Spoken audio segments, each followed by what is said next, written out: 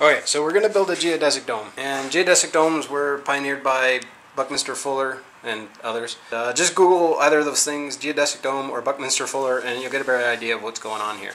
V3, so it's got three different strut lengths. Only the problem with domes like that is you end up using struts with connectors at the end like this and you would have like you know six of these piled up and they would go off in different directions and they would make your conduit struts. This these are cut offs this is this is what remains of a dome I made some years ago.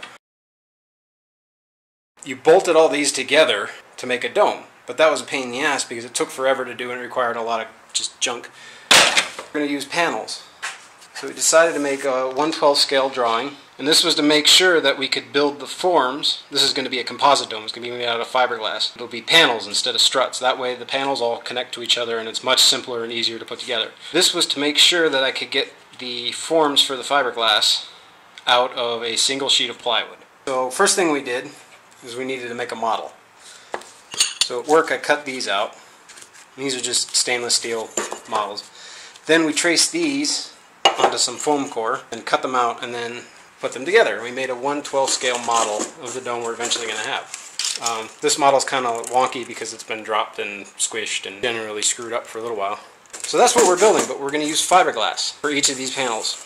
Uh, we're going to connect them much the same way we did here. Here we just used some scotch tape on the inside, but what we're actually going to do is because in real life these will be much thinner comparatively, we're going to connect them with Velcro.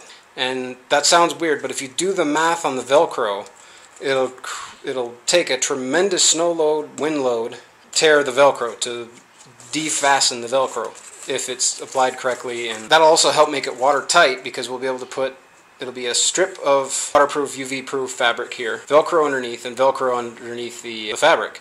And there'll be weather stripping in here. The strips of fabric will be shingled over one another. So these up here will be over this one here. So when the water comes down, it just slides off the dome like so. How do we make these panels out of fiberglass? Well, we need some kind of form. So what we did is we got some plywood, kind of big, and we glued and screwed a border around it. And what we're going to do is that PVC from the old dome is right here. And what will happen is fiberglass will go in the form. These tubes will go around it.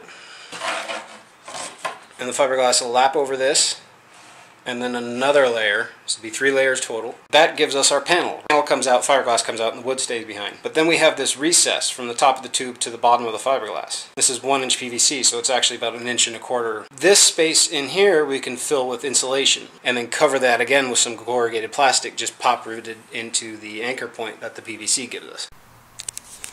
Been cutting all the PVC tubing with a miter saw I've just got a couple of these. This is not bolted down in any way, this is a borrowed saw. Um, so I'm just using some welding clamps I had, piece of plywood that's just got a stop screw to it. Cut one, then you put it in there, like that. Clamp it down where you need it, and you cut your lengths. You know, 15 hexagons worth of tube, and there's some more down there, and there's some more over here.